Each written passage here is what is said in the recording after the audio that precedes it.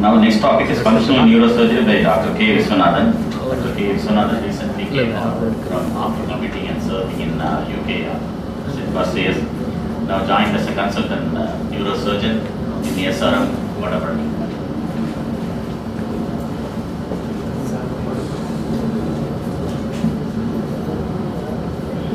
Thank you for this opportunity uh, to speak in my home IMA meeting, of which I am a member only for the last one and a half two months. I'm here to talk to you about my area of interest in neurosurgery, and uh, it gives me great pleasure to speak to a varied audience, including a very senior neurosurgeon in the audience. So, but this talk is focused more towards the uh, primary care uh, physician who deals with uh, such patients. So let's let's start with what uh, functional neurosurgery itself means. As Dr. Subramaniam uh, mentioned before, there are various pathologies in the brain, like a tumor, where you take a biopsy or resect. But functional neurosurgery means it's an intervention designed to alter the physiologic activity of the nervous system. Basically, the concept started in 1949 for uh, sympathetic neurectomies, and a book of functional neurosurgery was authored in 1956. Next slide, please. But the history goes much uh, earlier than that, and Victor Horsley, whose photograph you see there, is the father of functional neurosurgery. He basically removed all areas of the brain to try and improve various diseases. He took out the motor cortex to try and improve uh, Parkinson's disease. He is the father of modern epilepsy surgery.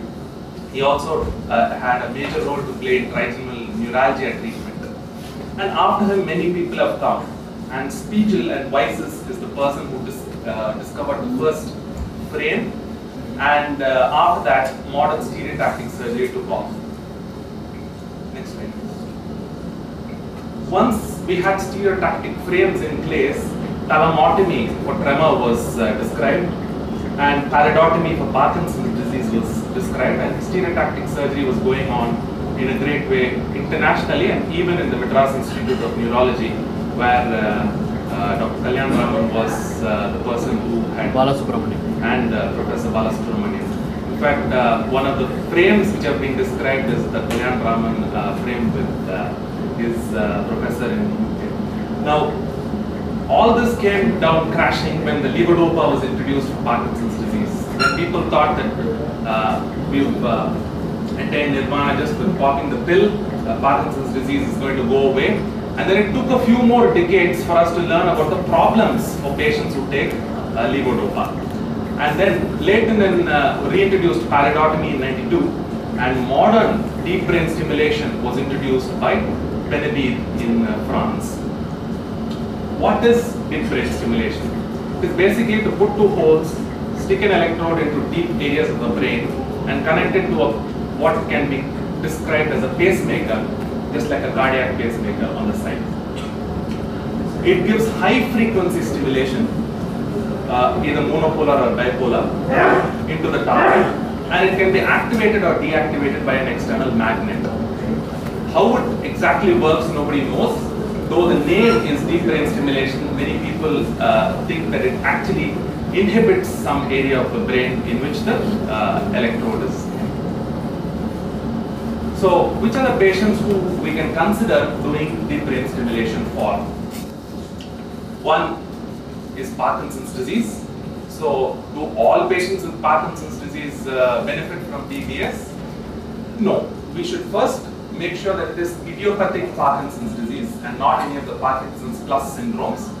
The patient should, by definition, have improved with DOPA because the DBS will mimic the DOPA, but improve the dyskinesias. So it is typically a patient who has been at least having Parkinson's disease for four to five years, who has started developing on-off phenomenon, drug-induced dyskinesias, or is unable to tolerate the DOPA. Dystonia, it's helpful in generalized uh, dystonias which are occur in children, or sometimes picked up later in life, or segmental dystonias typically like a torticollis. It's also useful in intractable pain where uh, various other areas like the periaqueductal, gray matter, thalamus can all be stimulated. It's currently being introduced for epilepsy, where I was fortunate when working in the UK to be involved in a few cases where even uh, intractable idiopathic generalized epilepsies have uh, benefited. So in epilepsy, the target is thalamus, uh, few subnuclei in the thalamus. Psychosurgery has also slowly come back in this world. Uh, treatment for obsessive compulsive disorder, depression and things are uh, coming, but the jury is still out whether these are ideal cases to start off with for uh, deep brain stimulation. Because whereas in a tremor you can put the DBS and then make the patient steady, in OCD and depression there is no uh, objective method where we can immediately say whether we are going to benefit, what current to use, what stimulation. So as such, psychosurgery, at least uh, apart from China, has not taken off in a big way in many of the major centers. Next slide, please. So as I said, in Parkinson's disease, the case selection is idiopathic PD, which is dopa responsive in patients with dyskinesias. Essential tremor is another uh, typical indication where DBS can cure essential tremor, especially in the patients with non-axial peripheral tremor, where uh, either propranolol or brexpiprazole, none of these medicines work, or even if they work, they may not work uh, to the patient's satisfaction. Next slide, please. So these are the targets. Thalamus is uh, stimulated in uh, tremor. Globus pallidus or the subthalamic nucleus can be used in Parkinson's disease, but uh, the uh, current consensus is subthalamic nucleus because the additional advantage of using subthalamic nucleus is that the dopa medication dosing can be brought down in uh, the successful cases. Pedunculopontine nucleus has been tried by uh, Professor Tipu in Oxford, but uh, consensus is that it may or may not be an ideal target. So does DBS work? Is it worth spending 9 10 lakhs of rupees for an operation, putting uh, such expensive equipment, uh, doing an operation for one full day? Does it really work? Now here you can see that um, this is the meta-analysis which has uh, come recently and uh, the UPDRS, that is the Unified Parkinson's Disease Rating Scale, the motor component of which uh, when analyzed for patients in various different series has consistently shown that it's falling to the left of uh, the median, which means that it favors surgery. So the consensus is, as far as Parkinson's disease is concerned, that it really helps. Next, please. What other things can be done? If patient cannot afford the cost, we could consider lesional surgeries, which have been done for decades, which is stereotactic thalamotomies or pallidotomies. Can we do it here in, uh, in Chennai, especially in my center? Yes, we can, because we've got the Leksell frame, Brainlab, neuro navigation, uh, and good quality CT and MR. As uh, I said uh, before, uh, the cost is the main consideration. Uh, unfortunately, uh, the companies which have developed and patented this uh, are uh, holding the monopoly as far as this is concerned. Next slide. The next uh, the subset which I'm going to talk about is epilepsy. As everybody knows, epilepsy affects a significant proportion of our uh, population, especially uh, children. What it is, I need not tell all of you the definition of epilepsy, but uh, the important line is the last one. 10% of patients who are epileptics are intractable epilepsy, where one, two, three medicines cannot work. So it is in those patients that we can consider surgical options. Next slide, please. So the pre-surgical workup of epilepsy includes the simple things, a good quality history and examination, which will tell us the clinical semiology of the seizures, a scan EEG, with, which can be supplemented by a video EEG by admitting the patient in hospital. If other investigations are available like magnetic encephalography that can provide complementary information and in the cases where it is doubtful whether it's coming from left or right, whether uh, uh, where an intracranial monitoring can be done, that is the electrocorticography. Imaging modalities and MRI is considered the gold standard. Functional imaging like fMRI is helpful in lateralizing which side the speech is coming for. Uh, for example, how close the lesion is to the motor cortex and things like that. A PET scan, which is an interictal PET scan or an ictal PET scan wherever available, will be also helpful in deciding. So what does surgery involve? Surgery does not only involve resecting that epileptic focus. Surgery comes even in confirming the diagnosis, lateralizing and saying whether it's coming from the left or the right, and then localizing and saying where exactly the surgical uh, target is. Next slide, please. So when do we do invasive monitoring? It is when the information is discordant. The clinical history says maybe it's left. The EEG says maybe it's left, maybe it's right. The MRI says it's left. We are not very sure. We want to be exactly sure before we take out that part of the patient's brain. When there are multiple lesions, we don't know which one is the main culprit, or when the lesions are close to important areas like the motor cortex, for example. Next. So one invasive monitoring is by putting in subdural strips. Here you can see two burr holes and the uh, electrodes on either uh, side. So you put it in, monitor the patient for about a week, and then you remove it, and uh, then you discuss with your uh, urology colleagues, the uh, neurophysiologist, and then you come to a conclusion as to whether you can offer surgery or not to this patient. Next slide. please. Intracranial uh, electrocorticography is another uh, thing where you place a large grid over that uh, area which you think is harboring the pathology. So one week down the line, we remove the grid and the lesion. Next slide, please. Depth electrodes, here you can see that uh, uh, slender electrodes, much like the DBS electrodes, are placed into both sides to see in whether the uh, epileptic focus is deep down. This is very useful in uh, mesial temporal sclerosis, where the mesial temporal lobe is very uh, deep, very close to the brain stem. Next. So that is uh, the uh, depth electrodes which are coming out from the uh, close to the ear. You can see on the last uh, photograph on the right, and it is placed using stereotactic uh, technique.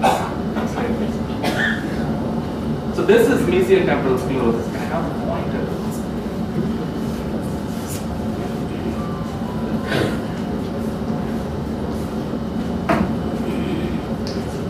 So you can see this side, nice fleshy temporal lobe. This side is not that much, much better seen on the T2 image.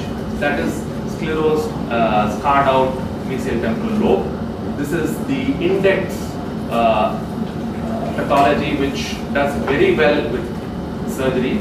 Uh, about 80 to 90 percent uh, seizure uh, uh, freedom rates are reported worldwide. Next slide. So there is a high flare uh, signal which you can see compared to either side, and uh, this is the uh, index operation for an epilepsy surgery. This is uh, an operation where you find that half the brain has been removed out uh, from this patient. So this is called hemispherectomy, which can be uh, useful in patients who have had strokes, which have left them with an useless extremity, but disabling epilepsy that makes them fall very often, which can make them uh, uh, completely dependent patients. And in such patients, doing the hemispherectomy can be useful. As you can see, the complication of that, because one side the dura has gone so down, they can, they can get uh, uh, filled up with blood in that uh, hemisphere. Next slide, please. And other alternative is to remove only a small hole in the brain and then disconnect the entire pathological hemisphere from the rest of the body so that you're achieving what the previous operation achieved but with much less morbidity. Next slide please. If the lesion is very close to the speech area, for example, as in this condition called Landau-Kleffner syndrome, you can get, you can uh, do an operation called multiple subpial transections, which basically mean that you're not able to resect the tumor, uh, resect the pathological area. So what you do is you uh, separate the uh, fibers so that lateral spread of the epileptic uh, uh, activity does not happen. So you minimize the incidence of seizures. Next slide. Finally, we've talked about all the resective options. If we, can, if we cannot find a resective option, if the patient does not want, we can consider what is called vagus nerve uh, stimulator insertion. As you probably have learned in the medical school, uh, vagus nerve is a pure motor nerve, but putting a stimulator on the vagus nerve and sending impulses above somehow helps in patients with epilepsy because 80% of the fi- vagus nerve fibers are actually afferent fibers which project to various areas deep inside the brain. But this is not a cure for epilepsy, it is a palliation. Supposing the typical incidence is patients with, say, idiopathic epilepsy who've been on 3, 4, 5 anticonvulsants but still get uh, 5, 6 seizures a day and um, when you compare the addition of the fifth or the sixth anticonvulsant on a graph with the vagus nerve stimulation, the vagus nerve stimulation uh, scores over the sixth or the seventh anticonvulsant. Next slide, please. With the, the research options now available are including, uh, you know, uh, directly going in and stimulating the lesion. Next slide, please. Or uh, putting in grids, what you've uh, seen. Next slide, please uh, grids on the brain and uh, stimulating. So what it can do is these, these uh, are under development and which may come into use quite soon. So just like the electrocorticographic uh, lead, you place place it there. It detects when a seizure comes, and then it uh, sends an uh, electrical stimulus to abort the seizure. So that is all in the pipeline. But of course, again, when it comes and what uh, cost it will be and how effic- efficacious it is going to be is still uh, open for discussion. Next slide, please. Again, uh, can we do uh, most of the box standard uh, epilepsy surgeries at uh, my center? Yes, we can because we've got a, a good quality epilepsy MRI protocol, neuronavigation, operating microsurgery instruments. at the moment, this is lacking, which is uh, a video telemetry and a video EEG. Next slide. The third uh, topic which uh, interests me is spasticity, which all of you know uh, uh, is uh, increase in the velocity-dependent increase in the tonic stretch reflexes, which have positive and negative signs, which are weakness and loss of dexterity, increased deep bended reflexes, resistance to passive stretch. Next slide. So, which patients have spasticity? Cerebral palsy with spastic diplegia, patients with spinal cord injury, multiple sclerosis, hereditary spastic paraplegia. So, what patients benefit from surgery? Those who have failed conservative treatment or who cannot tolerate or have side effects with oral baclofen medicines. Next slide. So, this is how you assess spasticity using an Ashworth grading, basically normal to very rigid and surgery is useful in these groups. Next slide. So what can we do? We can either selectively open up the spine here, identify which are the sensory rootlets and uh, cut them off up to 20, uh, up to about 50 to 60 percent of the sensory rootlets, dorsal rootlets. Or we can insert a baclofen pump which gives the same medicine, baclofen, that is helpful through the mouth, but with reduced side effects uh, and uh, where the dose can be increased or decreased based on the system, uh, uh based on the response. Next slide, please. Again, this is a very simple uh, uh, operation, the baclofen pump insertion, and even selective dorsal rhizotomy with monitoring can be done. Next slide, please. This is the last, I won't bore you for more than five uh, minutes now. The final thing is pain. All of us have experienced pain. There are medical definitions of what pain is, but all of us know what it is. Next slide. But here I am, a surgeon, coming and telling you that normally we cause pain, we cut open, but we can also help in relieving pain. This is what we cause during our surgeries, so this is what we can treat with modern neurosurgical treatments. Chronic pain, which can be either nociceptive, like the acute pain, or neuropathic, where the patients have paresthesias, dysesthesias, or there is a central component to the pain. What is important is when pain becomes chronic, there is an element of psychogenic uh, uh, element to it as well.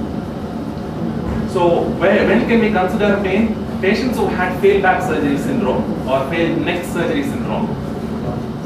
I've uh, had multiple spinal operations. The doctor says there's nothing wrong in my back or my neck, but still I have pain. What can I do? Spinal cord injury patients.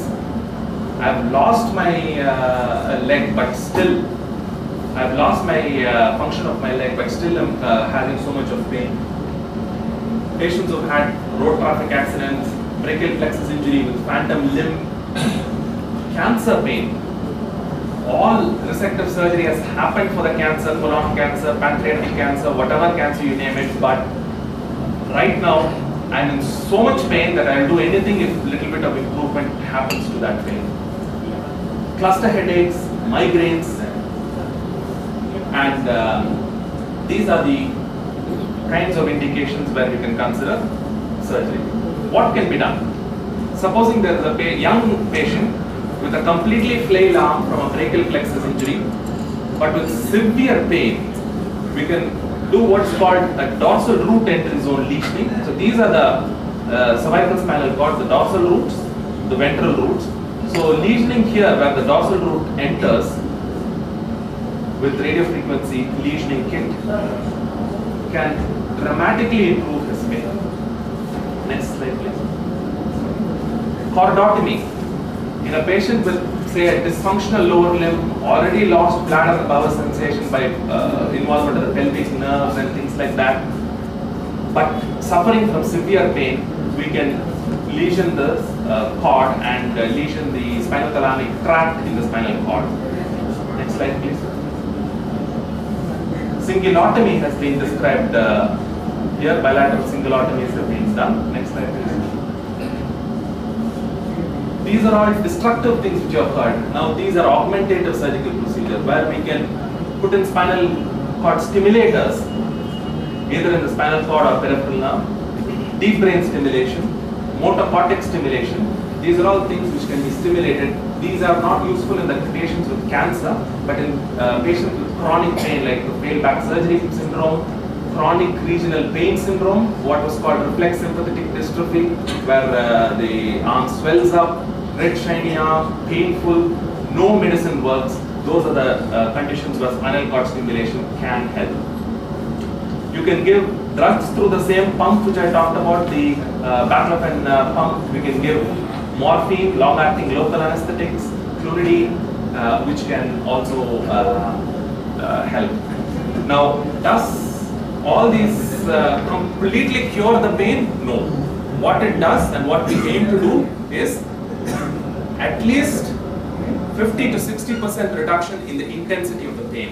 And you would be surprised to know that most patients would give anything for a 10 or 20% reduction. Thank you. Thank you. for your time. Any questions? The episodes, post episodes, can also make. Yes, you can consider things like uh, deep brain stimulation of the thalamus or such. What about the use of ganglia? You can uh, say, for example, in patients with uh, facial pain, chronic facial pain, you have uh, the trigeminal, uh, uh, percutaneous trigeminal procedures where uh, you can directly stimulate the Meckel's cave. You can uh, put in a balloon or you can give glycerol and things like that can be done ganglion blocks have been done for various other procedures, sympathetic blocks and things like that using, uh, you know, VATS, uh, video assisted laparoscopic uh, procedures or uh, laparoscopic. Uh, but I do not have experience in the ganglion blocks. But they are learned in India? yes. Thank you.